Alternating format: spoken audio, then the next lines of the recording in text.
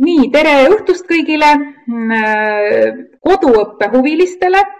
et meil on siis täna selline tore olukord, kus neli haridustehnoloogi on tulnud appi tervele Eestile, et rääkida sellest, kuidas koduõpet tehnoloogia abil läbi viia ja mul on hea meel näha, et tegelikult siin on kõik haridustasemed, näete, meil on ülikool abiks, meil on Tartu Kutsehariduskeskus abiks ja siis äh, Diana ja mina, meie oleme siis üldhariduskoolist, et Diana Pärnu vanalinna põhikoolist ja mina olen siis Hitsast ja Gustav Adolfi gümnaasiumist. ja tänase veebiseminari mõte on siis äh, panna teid ja meid arutlema selle üle, kuidas koduõpet tehnoloogia abil läbi viia. et äh, meie mõte on anda teile hästi palju erinevaid ideid ja mõtteid, mida katsetada ja ähm, mõnes mõttes ikkagi anda teile õng, mitte kala. et te peate ise leidma enda jaoks selle parima ja ma kutsun kõiki siis aktiivselt äh, chatis osalema ja nii kui teil tekib mingi mõte või küsimus, pange see sinna kirja. aga alustame et aeg on liikuda esimeselt slaidilt teisele ja ma annan sõna alguses Dianale. nii, tere õhtust ka minu poolt. väga tore on näha, et meid on siin tõesti väga palju, seitsekümmend seitse osalejat praegusel hetkel ja väga kahju on sellest, et meil sai see äh, nii-öelda registreerimise kurp täis, mida vist varem ei ole juhtunud. et äh, see oli tõesti meie jaoks suur üllatus, et äh, huvilisi oli nii palju, aga teema on ka praegu väga aktuaalne, nii et seetõttu meid siin nii palju on. ja kõik need, kes siis täna ei saa osaleda, pärast siis saavad seda salvestust vaadata. Ja ka teie ise saate, et me selle salvestuse paneme siis üles äh, äh, Youtube'i kanalitele. Ja kindlasti siis jagame seda salvestust selles Facebooki grupis, kuhu me hakkame koguma ka kõike koduõppega seonduvat. Paljud teist on võib-olla juba liikmed aga kes ei ole veel liikmed, siis me pärast jagame neid slaide ka ja need lingid panen siiasamasse chati. et äh, see on siis see Facebooki grupp, äh, kus äh, just väga tore, Ingrid juba jagas seda linki, et seal Facebooki grupis me hakkame siis jagama kõike seda, mis puudutab ja, ja seal on vaba voli jagada ka siis kõikidel liikmetel. ja mis siis on seal grupis veel oluline, on see, et kui nüüd peaks juhtuma selline olukord, et teie kool peaks jääma koju või näiteks Kristiine gümnaasium, kes täna on siis koduõppel ja distantsõppel, äh, siis see on see grupp, kus haridustehnoloogid on nõus andma teile nõu, äh, soovitama, vastama teie küsimustele.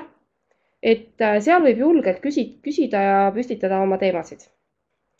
ja lisaks siis oleme siis haridustehnoloogidega koos, koostöös siis välja valinud sellised keskkonnad mis siis hästi võiksid sobida koduõppe jaoks. ehk siis, et mille, äh, seal on kategoriseeritud, et ma ei hakka seda tabelit siin eraldi lahti tegema, et seda saab siis igaüks vaadata ja sinna oleme siis pannud ka erinevad äh, juhendite lingid.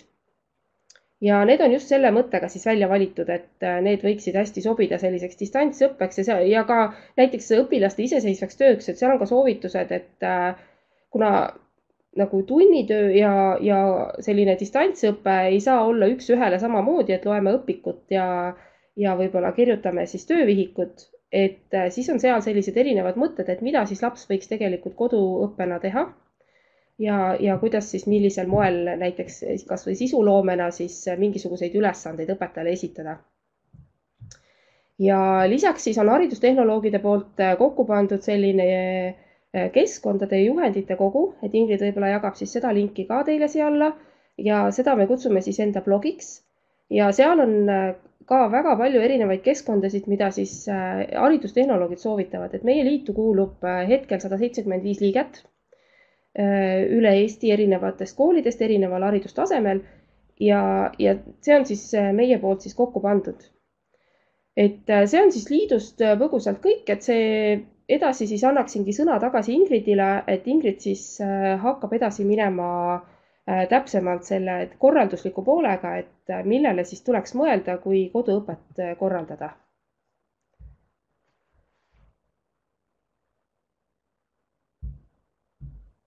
nii, Ingrid.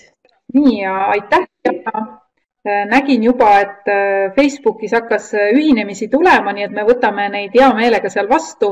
Ja olge head, jagage seda linki ise ka, kui te näete, et keegi on hädas, et see on tõesti selline, kus rõhutan veel kord, haridustehnoloogid annavad täiesti tasuta ja väga operatiivselt ja kiirelt nõu. sealt võib vastused saada paari minutiga nii, aga nüüd, kui siis kooli tuli see teade või tegelikult mõnes mõttes on ju see koolides praegu ka olemas, kus lapsed on koduõppel, siis alati kõige suurem ja esimene küsimus on, et kuidas alustada.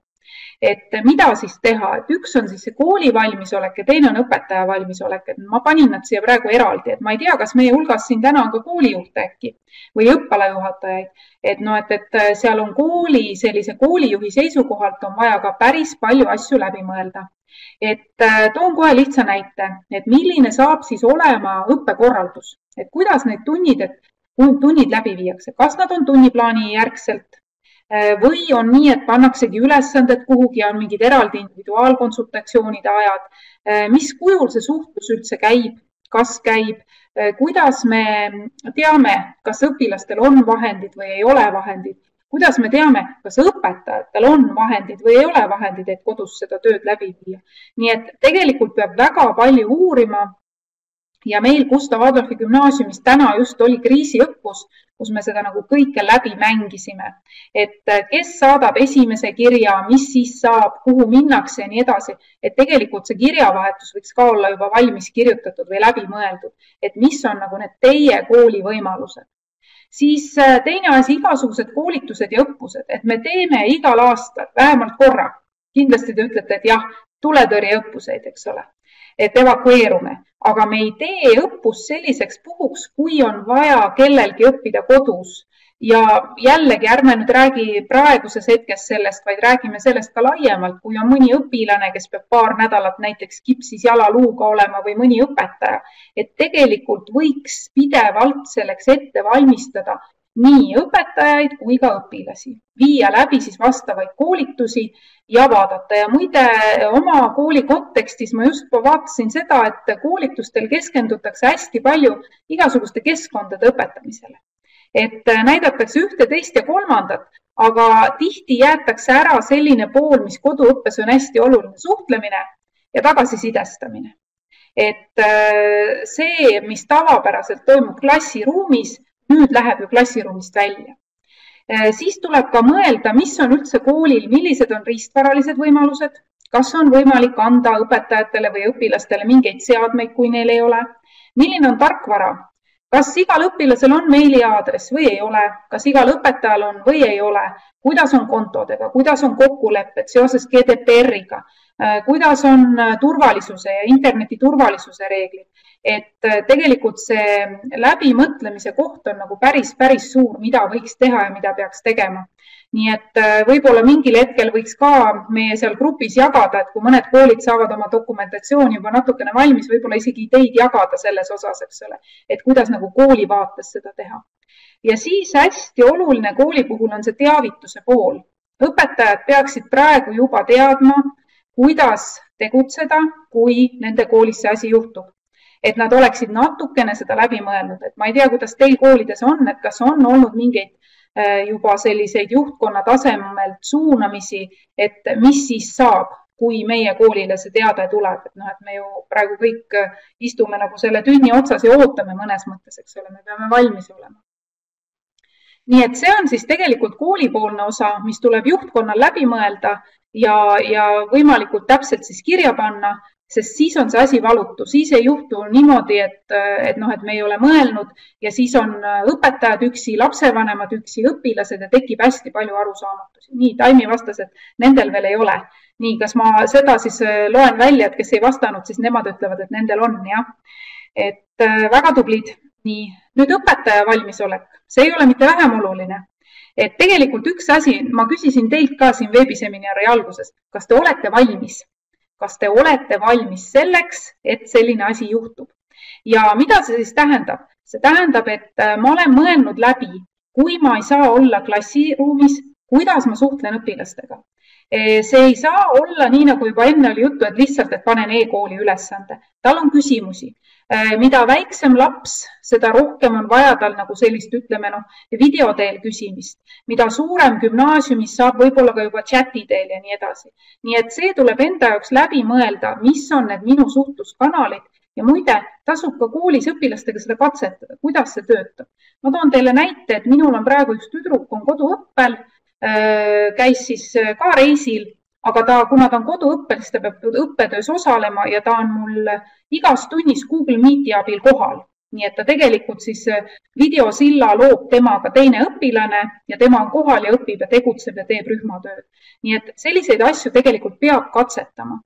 Äh, siis äh, muide õpetaja puhul, mida ma teile soovitan, mõelge natukene selle peale, mis on see teema, mis sobib nagu koduõppeks et tegelikult õpetaja on ju üsna vaba oma tegemistes. Te ei pea võtma täpselt nende teemade järgi, mis õpikus tuleb, vaid tegelikult on ju niimoodi, et te saate ise otsustada, et te juba vaatate, et oh, see teema on midagi sellist, kus lapsed saavad ise töötada, ise teha ja tõstke need asjad ümber, et vaadake, et te olete selle välja valinud. ja muide ka erinevad materjalid, mida ma siis kasutan, et noh, et õpik õpikuks, aga kas on olemas mingeid videomaterjale või kas on mingeid keskkondi minu meelest ma ei tea, kas meil on siin näiteks oskusainete õpetajaid, kehaline kasvatus, kunstiõpetus, tööõpetus. kas te olete täna siin või ei ole? et andke teada. minu jaoks on praegu nende ainete tähtsus väga-väga suur selle koduõppe puhul, sellepärast et kui see vaene lapsukene on seal kodus, ei saa ta trenni, ei saa saada välja, ei saada kuhugi, siis tegelikult sellised äh, kunstilised asjad, kuidas liigutada, tee aken lahti, tee harjutusi. Äh, kunstiõpetaja saab anda põnevaid äh, ülesandeid, mis kulub, et noh, et ta nokitseb midagi ja teeb. et noh, et need ained võimaldavad nagu sellel lapsel seda päeva täita, et ta siis ei lähe kuhugi, et tal, et ta ei tunne ennast halvasti, et noh, et, et praegu meil vist siis ei ole ühtegi kehalist kasvatust, kunstiõpetust, käsitööd, töö, tehnoloogiaõpetajat et äh, muusika, no vot niimoodi, just Tene, et selle peale tasuks mõelda juba vaadata Youtube'is lahedaid videoid, mida nad saavad teha, Go Noodle või midagi, et noh, mõelda välja, kuidas seda teha. jah, sama kunst ja tööõpetus, et nüüd ei ole nelikümmend viis minutit nagu koolis, nüüd võib anda ikkagi võimalust talle nokitseda ja teha ja käeliselt tõesti midagi teha nii, ja siis tuleb tegelikult õpetajal mõelda ka selle peale, kuidas ta kontrollib ja tagasisidestab seda, mida õpilased teevad ja see tagasisidestamine siis tähendab seda, et tegelikult, kui tavaliselt on ju koolis nii, kui õpilased on klassis, ma näen, et nad kirjutavad kõik vihikusse, ma ei hakka seda kõike kontrollima ükshaaval, siis nüüd ma pean kontrollima ära iga asja. kas ta teeb mulle foto sellest, kuhu ta selle siis paneb, kuidas mina näitan, et ma olen seda näinud ja nii edasi. et see on oluline läbi mõelda ka seda, et õpilane tunneks, et õpetaja on kogu aeg tema jaoks olemas ja kasvõi paneb no kusagile naeru näo. Et äh, ma ei teagi, kuidas seal Kristiines praegu on, et kuidas te neid, äh, kuidas te neid asju tagasisidestate, et näiteks meie arutasime seda, et me teeme e-kooli märkmed, et kui laps oli tunnis kohal, siis on tal nagu arvestatud ja kui tal ei, kui ta ei olnud, kui ta ei teinud seda tunnitööd ära, et siis on mitte arvestatud. aga noh, see on ainult nagu see tööde tegemise asi, aga noh, ta tahaks Ehm, eh, tahaks ikkagi ju saada rohkem. nii, Ilotana ütleb, et on tabeleid, nagu soovitasite. jah, ma näitasin neid tabeleid, sest et pühapäeval me kohtusime Kristiine gümnaasiumiga veebi teel ja loomulikult, eks ole e, e-kool samamoodi, eks ole, Opik ja nii edasi. jah, Taimi, siin on Kristiine õpetajaid, siin on neid rohkemgi, nii et nad võivad juba kirjeldada, kuidas neil on, eh, kuidas neil on läinud nii et eh, selle peale tasub ka mõelda, et me teeme hästi palju seda koolis suuliselt, öeldes lihtsalt, rääkides, aga nüüd äkki mul on mingid personaalsed kõned veel kellegagi, kes hästi ei käivitu ja nii edasi. nii et mõelge see osa ka läbi, et mis on need keskkonnad ja vahendid, millega see tagasisidestamine nagu kiire, mugav ja eakohane. nii, aga liigume edasi. algus on nüüd tehtud, ma arvan, et te hakkasite mõtlema nii, äh, küsimus tuli kohe, mida teevad need lapsed, kes ei kasuta kodus arvuteid? meil selliseid on. me samamoodi, me teeme nüüd koolis, laseme klassijuhatajatel teha küsitluse, et selgitada välja kolm asja. kas õpilasel on kodus internet? kas õpilasel on kodus sülearvuti või tahvelarvuti, äh, sülearvuti või lauaarvuti? ja kas on olemas nutiseade, kas siis telefon või iPad?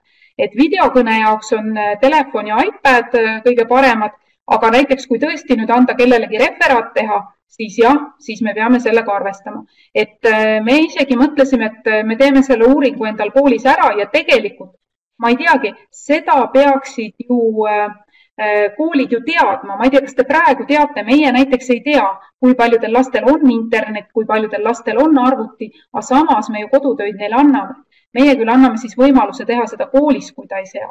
aga siin tuli, näete jälle hea lahendus, et vanemate kaasamine on väga oluline ja vanemad on nagu teie parem käsi.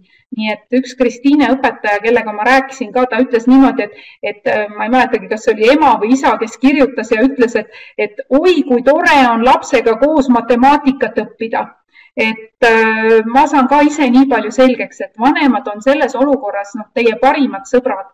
Ja ma kujutan ette, et kui mõnel lapsel on tõesti mingi suurem probleem, kui kirjutada vanematele, äkki leitakse need lahendused. Või on siis koolis võimalik anda kasutusse. nii et näete, Ilotana ütleb, et tema vanematelt ka positiivne tagasiside, kusjuures Eesti on nii väike just kohtusin ühe inimesega, kes, kes tunneb ühte teie lapsevanemat ja ta ütles, lapsevanem on vaimustuses teie tundidest, vaimustuses.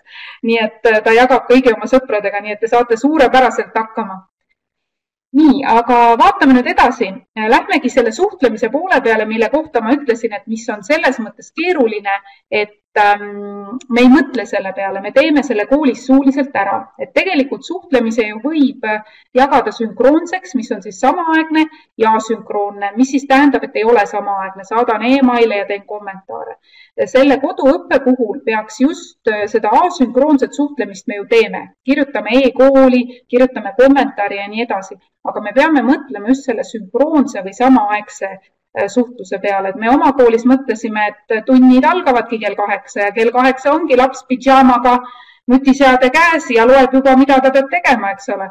nii et äh, selle sünkroonse suhtlemise puhul on siis kaks varianti, kas teha mingi vestlusruum, millest Veronika hakkab kohe varsti ka rääkima või siis videokõne ja seal on siis, mis on see, mis on selle puhul pluss, ma saan kiirelt teha muudatusi, öelda, et oi, see ülesanne ei tööta, proovime teistmoodi, teeme teistmoodi. ma saan väga kiirelt anda tagasisidet, öelda kellelegi, mulle väga meeldib, kuidas seda tööd teed või, või sealt vaata teistmoodi. samas meil täna oli koolis õppus, võib esineda tehnilisi probleeme, et kellel ei tööta nii, nagu tuli siin välja juba Zoomi puhul, mis see arv oli, viisteist või et üle viieteistkümne, siis hästi enam ei töötanud ja äh, osalejaid on, kui osalejaid on terve klass, siis on päris raske seda kõike märgata. et iseenesest mina ütleks selle asja peale nii, et ärge unistage seda, et teil on terve see nelikümmend viis minutit videokõne õpilastega. võite kasvõi jagada nad rühmadesse, nii kümme esimest, räägime, kuidas teil päev on, mida te plaanite edasi teha, väga tubli.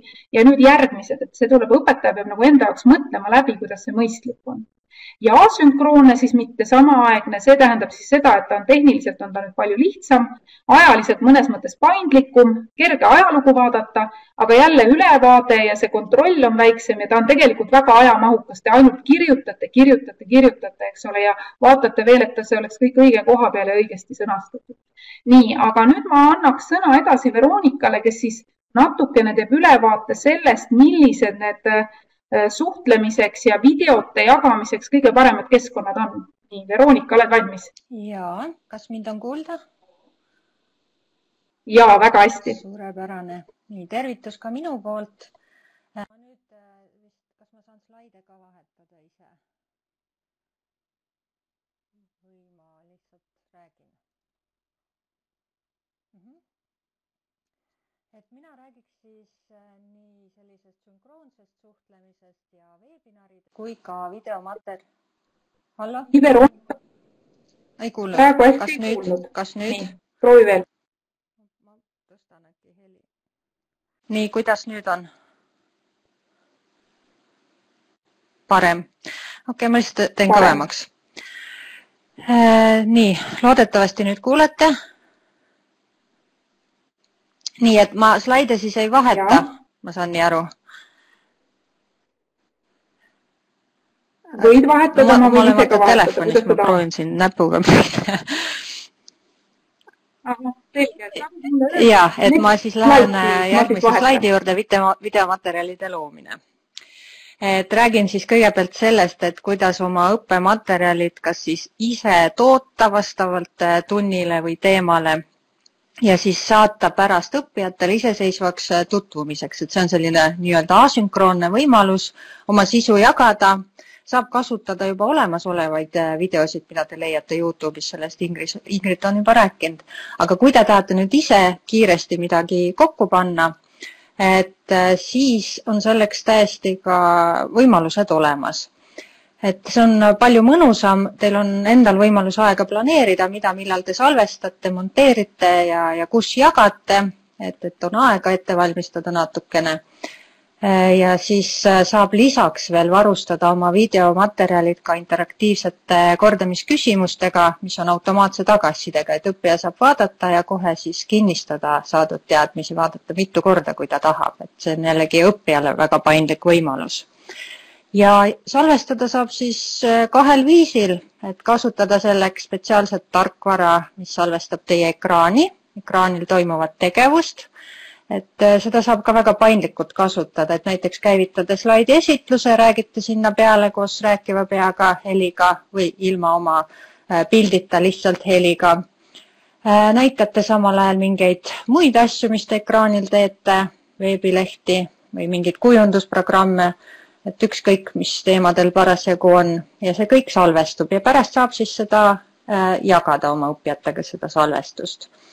Äh, teine võimalus on siis salvestada ennast äh, kaamerasse, et, et me siis käivitame kas päris videokaamera statiivi peal enda ette, äh, laptopis on olemas kaamera sisse ehitatud või siis ka nutitelefonis on see, kui on normaalne mikrofon ühendatud telefoniga, saab samamoodi teha, et lihtsalt rääkida mingi teema sisse Äh, lühi, lühidalt. võib kasutada ka klassiruume, me oleme näiteks seda väga palju harrastanud nii ülikoolis kui ka isegi koolides olen käinud matemaatika-tunde niimoodi salvestamas, et õpetaja räägib kaamerasse, näitab tahvli peal kõik need asjad ära ja pärast saadab seda materjali siis oma õppijatele, nii-öelda salvestab ette mingid tunnid.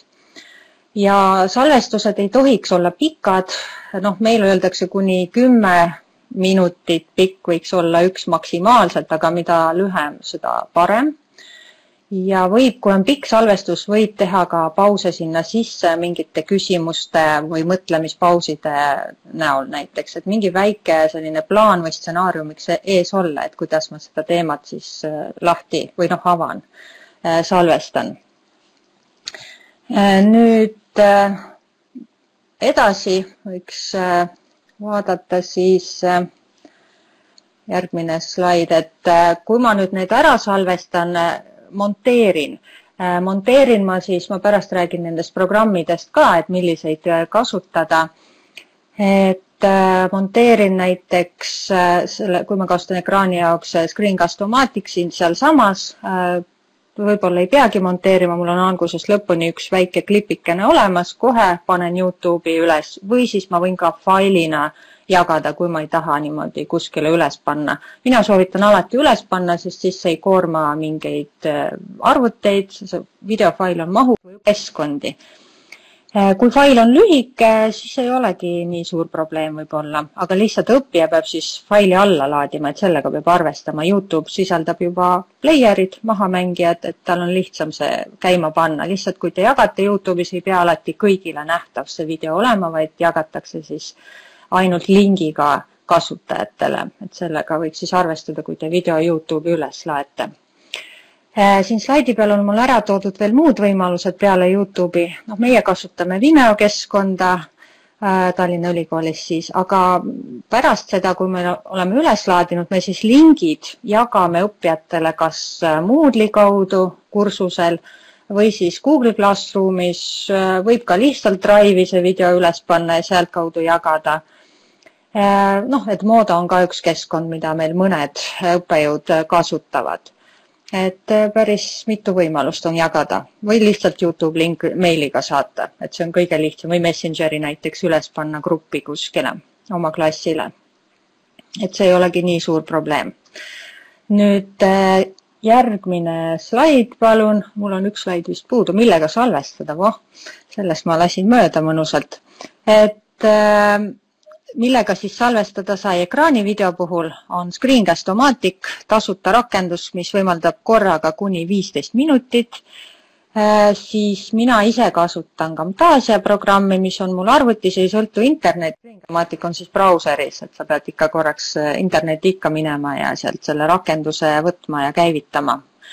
Äh, Camtasial on üks kuu tasuta prooviversioon, et kui on kiire, saab selle proovika alla laadida ja siis see on nagu professionaalne tööriist, mõivandab nii ekraanivideot kui siis PowerPointiga kus teha salvestusi, et ta integreerib ennast automaatselt PowerPointi külge, et saab käivitada salvestust otse PowerPointist ja siis teha esitlust näiteks, mis salvestub ja see on ka väga võimas videotöötlusprogramm, et saab ka monteerida korralikult sellega.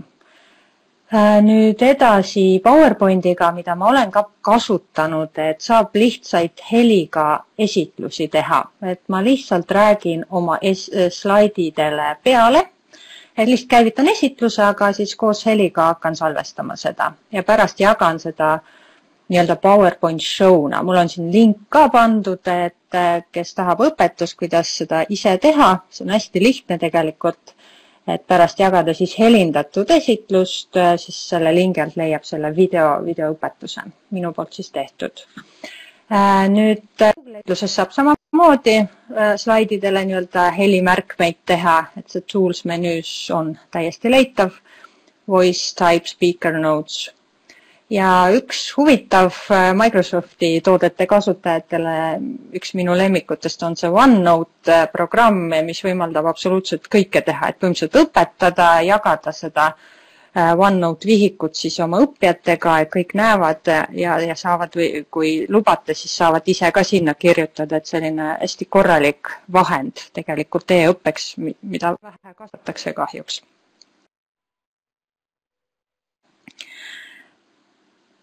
Nii, äh, siis äh, tahvelarvutid on ka head või üldse puutetundlikud ekraanid, kui ma näiteks tahan salvestada midagi äh, mida ma käega joonistan või kirjutan, et matemaatika puhul on hästi mugav ise käega endiselt kirjutada neid valemeid ja selgitusi. et kui on arvuti juba puutetundliku ekraaniga, siis OneNote'iga saab seda kenasti teha, aga kui on tahvelarvuti, siis spetsiaalne pliiats tuleks siis juurde lihtsalt muretseda ja, ja siis, kuna nendel nutiseadmetel on olemas ekraani salvestajad ka, et saab salvestada kõike, mida ma seal siis äh, seletan, näiteks mingi joonistusvahendi peal kas või, aga võib kasutada spetsiaalseid äppe. Ma siin paar tükki nimetasin, et explain everything, see on juba salvestamise funktsiooniga põhimõtteliselt, et saab siis pärast välja jagada õppijatele või show me interactive whiteboard, ühesõnaga kõiksugu selliseid valgeid tahvleid, et sellenimelisi äppe tasub otsida ja siis nende abil on võimalik äh, nii-öelda ise kirjutada, joonistada ja siis jagada, salvestada ja jagada. ja kui me kasutame reaalajas kohtumisteks äh, seminari äh, siis osad neist võimaldavad seda salvestada, nagu meil praegugi meie veebiseminar salvestub ja siis pärast äh, jagada neid salvestusi jällegi mingites õpikeskkondades või siis emailiga saata need lingid lihtsalt. et ma nimetasin siin kolm tükki, mis võimaldavad seda salvestust ja järelvaatamist, kõik ei võimalda. et seda peab siis uurima.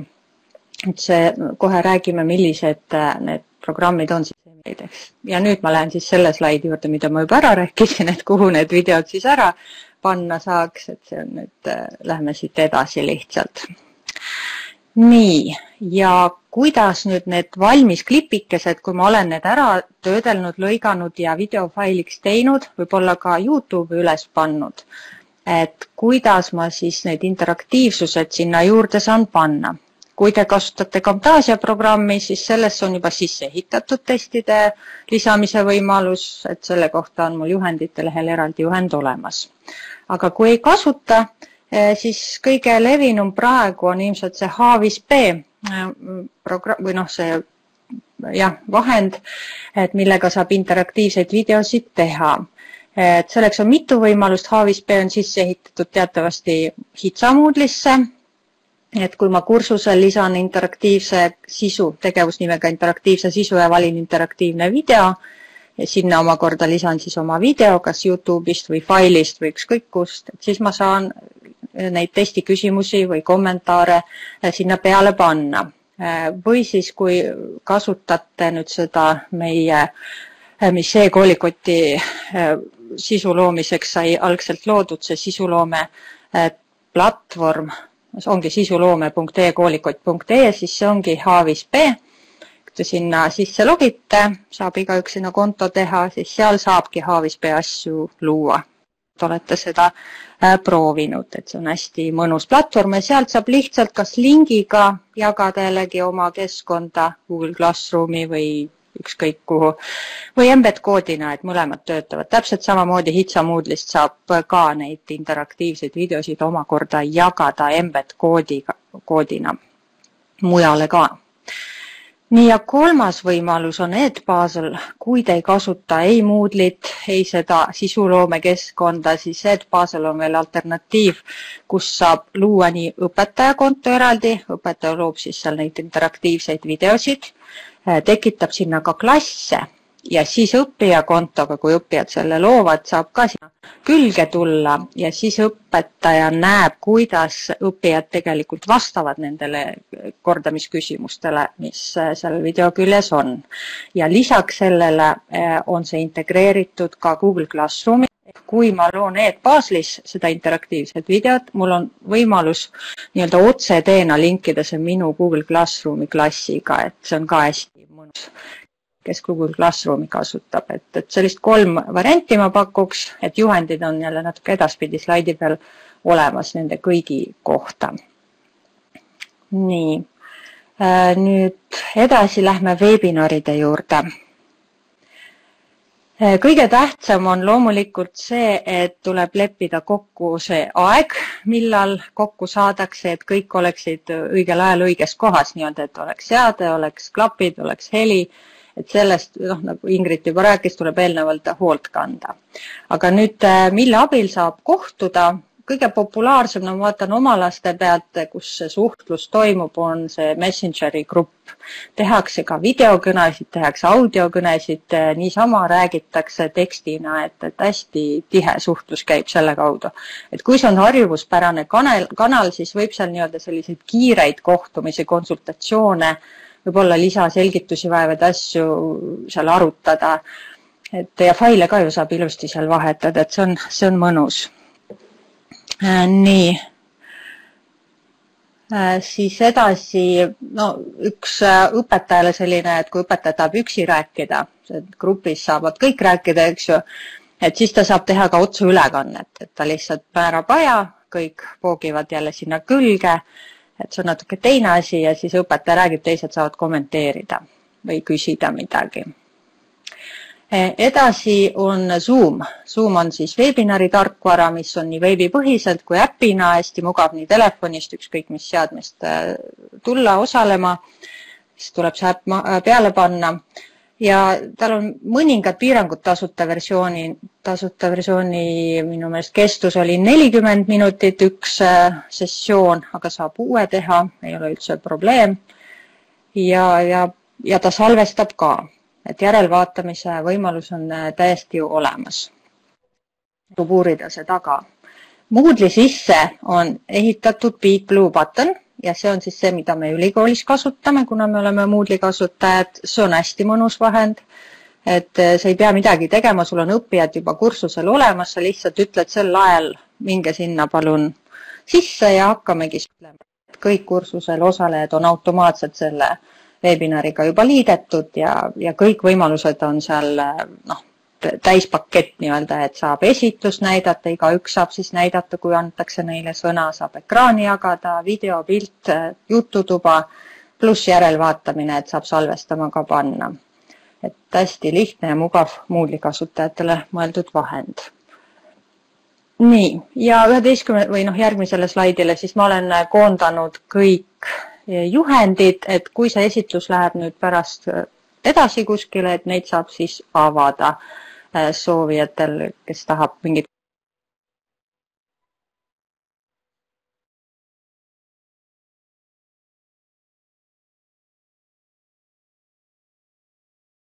konkreetset tarkvara, siin on videotöötlustarkvarad, mis on tasuta, paar tükki, kes ei taha tasulist kasutada ja ka interaktiivsete videote loomise kohta, siis kõigi kolme kohta on eraldi juhend. ka Zoomassi kohta põhjalik juhend.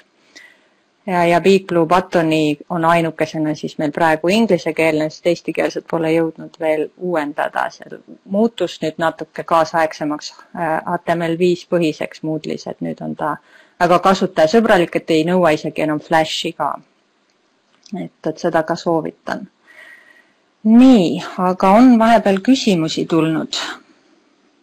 tuleb juhendeid hästi kõvasti eh, chati.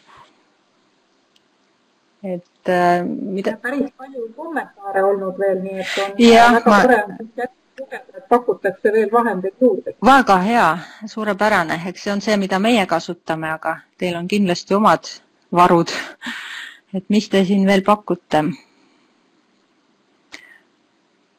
Mul on lihtsalt telefonis, ma nüüd scroll in seda jututuba siin väike tekst. Whatsappi pakuti veel? jaa, see on ka hea asi ja. ma ei tea, kas. Liveboard Interactive. ahah, ahah, et vot, kes millise suhtlusvahendiga harjunud on, eks ju, et ma näen, mida minu lapsed kasutavad, aga eks neid on veelgi, et kooliti võib olla ka erinev et äh, videod on tegelikult hästi mõnusad, et minu suur eeskuju, mida ma koos lastega vaatan, on Kristo Siig ja tema ajaloovideod, et need on nii head. et mina õpin ka koos lastega, nagu paljudki siin. aga jah, et see oleks hea eeskujuks, aga no neid on muidugi raske toota. nii, videot vaadata ei saa, siis Drive'i dokument abiks jah. aa, see andmemaht eh, Youtube'i vaatamisest siis telefoni andmemaht või mis andmemaht? Eh, meil on ka limiidid lastel peal, aga meil on wifi siis selle jaoks, kui on vaja videot vaadata, kui on seda silmas peetud. Tiina kirjutab mm, -hmm. et kasutab background channel'it, et kuidas kolmas klass hakkama saab, ma arvan, et hästi, eks ole Backroom Channel, seda ma ei olegi kasutanud. Äh, need on nüüd need probleemid, et kui teie lapsed on äh, nooremad kui kolmteist, siis tegelikult ei saa teha neid kontosid Facebook, Messenger ja nii edasi, et see on ainult vanema nõusolekul ja sellisel juhul tuleb leida kanaleid, kus õpilane saab osaleda, et tal kontot ei ole, et õpetaja saadab talle lingi ja siis ta on seal ruumis olemas. aa, okei okay., no ma ei tea, kuidas minu lapsed igal pool on alla kolmteist ja kui ema lubab, siis ja, tohib? ja, mina lubasin jah. aga jah, see on tõesti võib-olla no siis või võimalus. nii. no teil peab olema lihtsalt valikud jah. just, just, just. okei okay., nii väikseid lapsi mul ei ole ka. midagi veel? keegi küsib, ei. keskkondi on. nii, aga ma arvan, et ja, jah, aitäh just, et nüüd, kui jälle tekib idee ja Veronika on meil siin olemas, tal on küll väike chat, aga küll ta näeb Näen., et ta saab vajadusel edasi küsida hm,.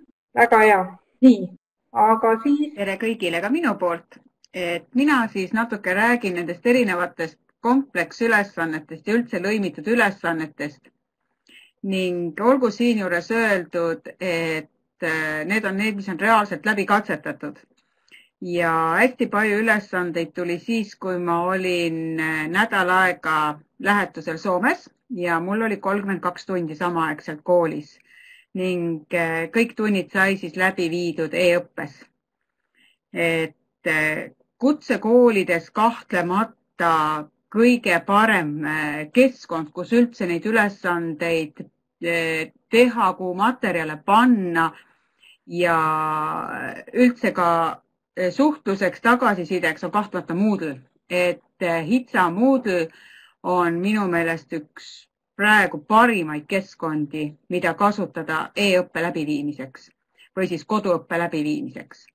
et eh, kui nüüd, mis sinna Moodle'isse panna, et ma usun, et enamik tegelikult on ikkagi kasutanud seda, aga lihtsalt, et sinna saab luua oma raamatuid, sinna saab panna igasuguseid veebilinke ja Veronika eelpool mainitud H5P on sinna sisse kohe integreeritud. et tegelikult äh, saab ise luua H5P ülesandeid Moodle'i keskkonnas, aga saab loomulikult ka e-koolikotist neid manustada sinna ning äh, kui on ka ütleme, et H5P enda keskkonnas loodud, siis ka sealt saab loomulikult neid manustada sinna ülesandeid ja enamik teste siiski on otseselt hinnatavad, äh, automaatselt hinnatavad ning äh, lisaks sellele saab ka anda automaatset tagasisidet enamik vastustele. et muidugi jah, siin peab siis natukene mõtlema, et kuidas nad võivad vastata aga noh, nii nagu kõikide testide korral, et jääb ikkagi ka see variant, et tegelikult siis äh, pärast auto, noh, pärast käsitsi vaadatakse need üle. et äh, siin on seesama esitluse link sai ka pandud, et põhimõtteliselt tegelikult üleval paremal nurgas on selline käemärgikene ja kui selle käemärgikese peale vajutada, siis on näha, kuhu kohta on pandud interaktiivsed elemendid esitluses. ja kui eh, minna korraks nendele keskkondade nimetuste peale, siis eh, seal siis avanebki see vaade, et, et mida selle keskkonnaga tegelikult saab teha. ning eh, kõikide nende juures on ka üks mehike küsimärgiga et sinna on, alla on pandud üks juhenditest, et tegelikult eh, Diana alguses tutvustas ka haridustehnoloogide blogilehekülge, kus on hästi palju neid juhendeid. et lihtsalt üks juhenditest on siis seal, kuidas seda keskkonda kasutada. et noh, Moodle'ist ma mainisin, et eh, lisaks sellele, et see H5P, et nüüd läks jutt küll natuke kõrvale, aga seal saab enda keskkonnas luua teste ja kusjuures eh, sinna on väga hea lõimida kõiki neid erinevate keskkondade ülesandeid. et eh, Google'i esitlused, kõik, kellel on Google'i konto, on kindlasti kasutanud ka Google'i esitlusi ja seal on ju ka see esitluse sisene linkimine võimalik slaidide sees. et näiteks üks variant on see, et õpetaja loob siis mingi aluspõhja ja iga õpet-, õpilane tekitab sinna siis oma slaidi või oma slaidid, et tekib selline ühine esitlus ja loomulikult siis kõik näevad kõikide omi ka ja muidugi õpetaja näeb väga ilusasti, kes mida teinud on, sest ajaloos, Google'i nende dokumentide ajaloos on seda hea vaadata. Nüüd Google Formsis saab e, õpetaja ise luua erinevaid küsimustikke, teste aga samamoodi on juba kutsekoolis võimalik see, et õppijad ise loovad mingisuguseid küsimustikke ja teste, et eh, ka seal tulevad need vastused ilusti automaatselt. Eh, meie koolil on tegelikult kaks litsentsi ostetud, üks on see Mindomo keskkonnalitsents ja teine on Lockwise'i oma, et nüüd, kui on see karantiiniga seotud, siis tõenäoliselt Lockwise'i hästi kasutada ei saa sest ega neid vist linna peale saata ei tohi või siis ütleme maapiirkonda. küll aga eh, ütleme see, nii nagu siin olid kehalise kasvatuse õpetajad, siis Endomondoga näiteks on võimalik tekitada seda challenge'it, eh, kus siis õppijad peavad liituma ja siis näiteks ongi seal, et eh, vot tuleb näiteks kolmkümmend minutit mingisuguseid Eh, kodus olevate vahenditega harjutusi teha, seal võtab kasvõi ütleme harjavarre ja kükitab harjavarrega või mis iganes, et lastel on loovust tegelikult päris palju. ja noh, näiteks on võimalik seda siis kasutada niimoodi. Eh, üks minu suuremaid leide, võiks öelda, on see vakelett või vaklet, kuidas seda nüüd täpsem oleks õigem hääldada, aga just, et õppijad ise hakkavad oma töid sinna postitama ja teadupärast eh, need võimalused, mis postitusi sinna teha saab või millist kogumikku teha saab, seal on hästi palju. Kaasa arvatud eh, Flipgriidi saab seal näiteks kasutada, et õpilane võib tehagi siis eh, sellise pisikese selfie videokese jutukesega, mida ta siis näiteks täna õppis Eh, kodus, et kasvõi selline asi, et, et igal õppijal on oma selline kogumik, kuhu ta siis iga päev oma neid ülesandeid paneb ja postitab ja õpetajal on siis see hea ülevaade. miinus on minu jaoks see, et äh, õpetaja ei saa seal anda tagasisidet. et selles suhtes on küll võimalik, et kui õpet-, õpilane jagab eh, seda kui kaasautorile, et siis õpetaja saab panna sinna postitusi. aga kui nüüd võrreldagi Padletiga, siis Padletil on teadupärast võimalik sinna kirjutada ju kommentaare ja hinna, hindeid anda, nii et selles suhtes on Padletil natukene ütleme eelis, aga teistpidi võimalused, mida siis see Vakelet lubab teha, on jälle suuremad, et eks ta olegi, et sõltub nüüd sellest vanuseastmest ja loomulikult eesmärgist, mida tahetakse siis nende ülesannetega teha, et kahtlemata need kogumikud on ääretult vahvad ja toredad. Ja näiteks kasvõi jällegi, ma toon selle kutsekooli siia võrdluseks, siis kutsekoolides annavad ju ühte ainet mitu erinevat õpetajat. ja siis ongi, et õppija korjabki kõik need, selle aine, need tööd ilusti ühte kohta kokku ja tegelikult kõik äh, sedasama ainet andvad õpetajad näevad siis ilusti, mis ja kuidas on et eh, nii võib neid jätkata, aga mida ma veel siis eh, soovitan iseenesest, eh, on veel selliste kompleksülesannete tegemiseks, kui ei ole seda Moodle'i võimalust, et hea oleks neid koguda kokku, on Wiser. tõsi, Wiser nüüd kitsendas neid õigusi niimoodi, et kui te tahate tööd jagada, siis see peab olema avalik et varem võis olla ka privaatseid faile sai õppijatele jagada, siis nüüd tasuta konto eh, korral peavad olema need avalikud ning eh, seal on samuti hästi palju võimalik neid ülesandeid panna ja samamoodi saab seal kohe ka tagasisidet anda. et eh, need võimalused on meeletud ja nii nagu siin eespool oli juttu ka, et, et kuidas neid ekraanisalvestusi teha või kuidas juhendeid teha, siis mina kasutan suhteliselt palju Screencast-O-Matic-ut ja ongi selline lühike juhend õpetajale, lühike juhend õpilasele, et mida teha, kuidas toimetada ja seda on ka väga hea just, et sa saad ekraani salvestust teha, et, et kui kellelgi tekib küsimus, et vot mul on selle koha peal, nüüd ma ei oska edasi minna. et võtad ilusti lahti ja näitad, kuidas seda asja siis teha ja saab siis eh, jagada, et mina eelistan jagada üldiselt Youtube'i kaudu, et seal siis eh, loendiväliseks ja jagab siis konkreetsele õppijale. aga et eh, nüüd, kui jällegi, kui on see e-õpe või kui on siis tegemist sellesama koduõppega, siis üldiselt äh, mina ütleks niimoodi, et siin tuleks õpetajate koostöö just hästi mängu, et tegelikult õpetajad jah, ideaalis võiks enne omavahel kokku leppida, et vot sel päeval on neil need, need tunnid ja loomulikult ei tasu kunstlikult hakata kokku panema asju.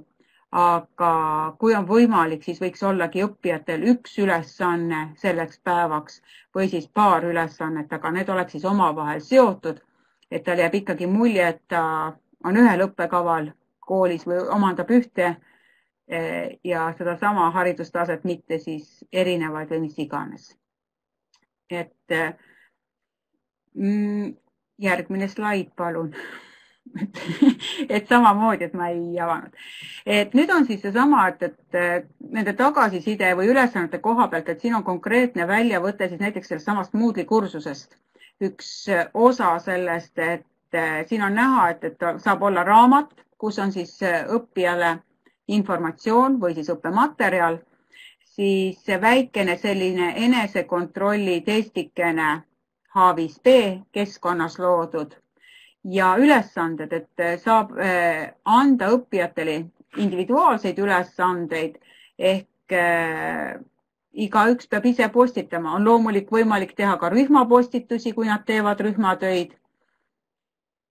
Ja raamat ongi selline võimalus, et teha seal ise raamatukest. seda raamatut on võimalik välja printida, loomulikult saab sellest teha koopia teisele kursusele edasi tõsta, täiendada, muuta et see oli siin küsimus, ma vaatasin korra chati ja loomulikult foorumid, et kui on tegemist sellise koduõppega või e-õppega, siis foorumite postitused on ka erinevad, on sellised Foorumi postitused Moodle'is, kus siis eh, ei näe enne teiste vastuseid, kui ise oled postituse teinud, on loomulik võimalik neid hästi aktiivselt kaasata.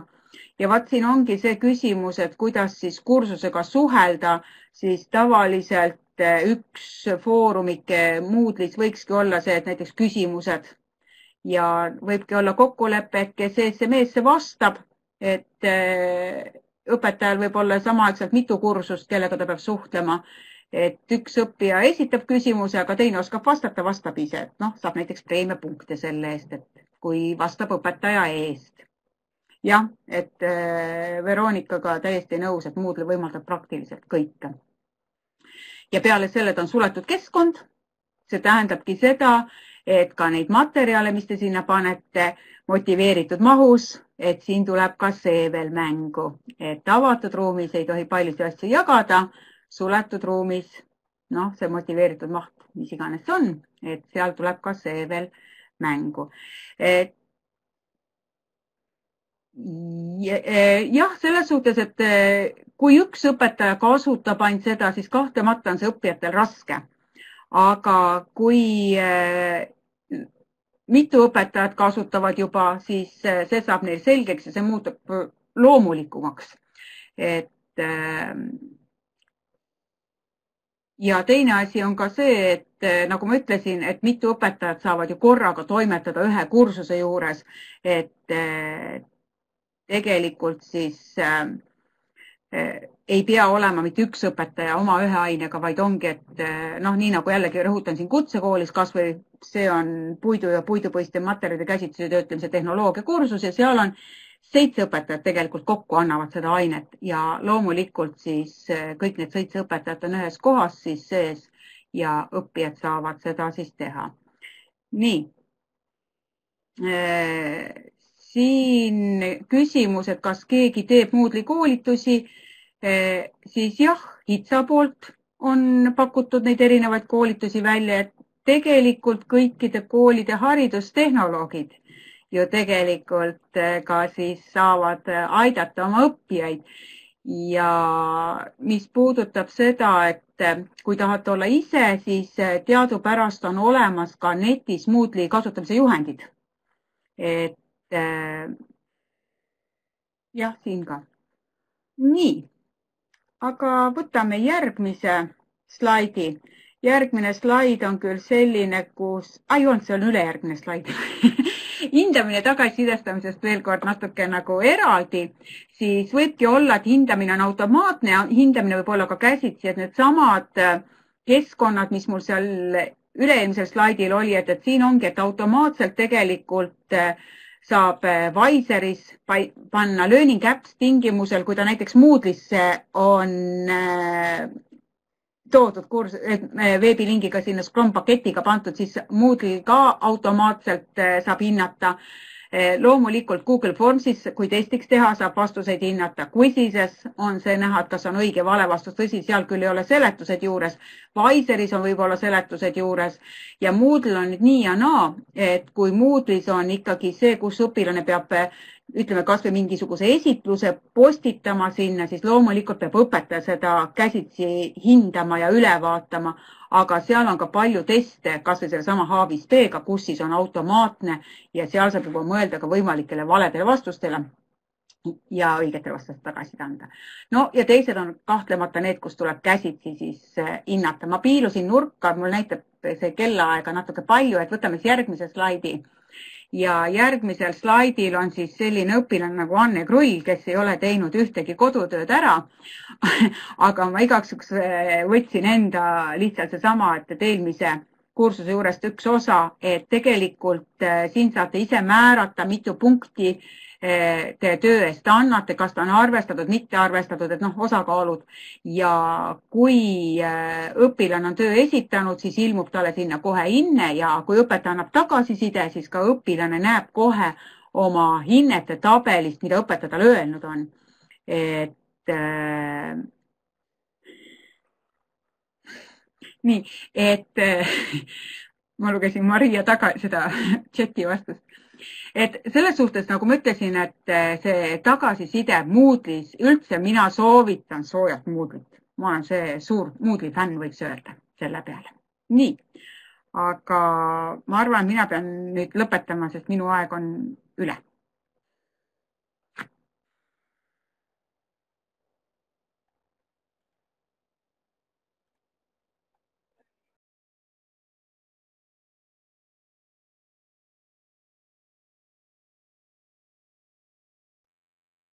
ei ole hullu midagi, ma arvan, et äh, Anne puhul, et äh, temast on kindlasti hästi suur abi pärast ka seal Facebookis, et nagu te näete, tal tuleb nagu külluse sarvest, et kõik need vahendid te peate ainult ütlema, ma tahan seda teha ja siis tema näitab, kuidas seda teha, nii et, et ja juhendid on ka suurepärased olemas. leiab siis sealt haridustehnoloogide blogist. nii, aga õige vähe on meil jäänud et äh, lõpuks ma panin veel ühe näite, et ma juba teile mainisin vist, et meil üks õpetaja on kodus karantiinis ja peab andma siis matemaatikatunde äh, veebi teel ja kui me praegu nähtavasti kallasime teid üle igasuguste vahendite ja võimalustega, siis ma panin selle näite siia lihtsalt sellepärast, et näidata, kui lihtsalt on võimalik, kuidas temal siis asi käib. Äh, ta palus õpilastel luua ühe Messengeri chati tingimus oli, et seal tohib rääkida ainult matemaatikast ja õppetööst. ilmast rääkida ei tohi. See chat on neil kogu aeg olemas, seal selle kaudu ta annab neile siis kiireid vastuseid, siis äh, kuna õpilased on koolis ja istuvad klassiruumis, muide täiesti üksi, keegi neid seal ei valva, siis ta kasutab ka sellist keskkonda nagu Vedamo Eh, mis on kuu aega tasuta ja kus ta saab kasutada siis sellist eh, tahvlit lausa, nii et õpilased nutitahvli peale kirjutavad ja tema näeb, kuidas nad eh, lahendavad ülesandeid. ja tema on samuti õpilastele veebikaamera teel siis nähtav, et siin on näha pilt klassist ja pilt temast ja kõik ülesanded lähevad Google Classroomi. et kuna meil on Google'i teenused olemas, siis see on nagu ülimugav ja kui ma küsisin õpilastelt ja õpetajatelt, et kuidas nad ennast tunnevad, siis loomulikult nad eelistaksid, et õpetaja oleks klassis, aga kui see ei ole võimalik, siis nad ütlesid, et pigem sellisel viisil, kui et on asendusõpetaja või tunnid jäävad ära. Nad pingutavad rohkem, palju rohkem, sest et Google Classroomis on iga nende ülesanne näha ja õpetaja paneb hindeid täiesti juhuslikult võtab kellegi oma lahti ja vihik on kogu aeg näha ja nad kasutavadki seda meetodit, nii nagu matemaatikas oli juttu, Veronika mainis ka, et äh, teevad pildi klõpsti ülesandest Google Classroomis ja näete, kui ilusti. siin on kohe kakskümmend kuus on esitanud ja, ja kui paljud siis on ära selle. nii et valite paar vahendit, mis on siis teie jaoks just nagu olulised, teie laste jaoks ja katsetate neid et tulemöllud jäävad Annele, aga Anne võib aidata teil nende vahendite valimisel nii, ja mis siis veel nüüd äh, soovituseks? soovituseks äh, alustage algusest. mõelge kõik asjad enda jaoks läbi. Äh, leppige kokku reeglid, leppige kokku koolis reeglid, et ei hakkaks tegema asju erinevalt ja leppige kokku ka õpilastega reeglid, et te võite vabalt selle esimese tunni kulutadagi sellele, et rääkida, kuidas te tahate õppida ja mismoodi tahate õppida ja ärge kartke selles mõttes neid tagasilööke ja eksimist. ma arvan, et need õpetajad, kes meil on siin Kristiine gümnaasiumist, võivad ka öelda, et on asju, mis on läinud untsu, aga see on õppimise koht. lapsed on väga heatahtlikud, vanemad on väga-väga toetavad ja loomulikult siin praegu chatis läheb läbi, et Opik, Õpiveeb e, e-koolikott, kõik need, et oleneb, mida te olete kasutanud siis küsige pidevalt tagasisidet, küsige õpilastelt, kuidas nad ennast tunnevad, kuidas neil läheb, küsige vanematelt, küsige, küsige kolleegidelt, jagage oma kogemust. nii et näete, praegu Kertu kirjutab, et karantiinis on praegu positiivset kogemust rohkem kui negatiivset, see on kõigi jaoks põnev, eks ole, et te saate hakkama, mul on nii hea meel seda kuulda, et ma olen väga, ma mõtlen teie peale iga päev. Ja küsige abi küsige haridustehnoloogidelt abi, kui teil koolis ei ole haridustehnoloogi, siis küsige Haridustehnoloogide Liidult, küsige meie Facebooki rühmalt, et me oleme valmis teid kogu aeg aitama. ja muide, HITSA sõnum siia lõppu veel, et HITSA-l on terve hulk koolitusi, kus saab osaleda.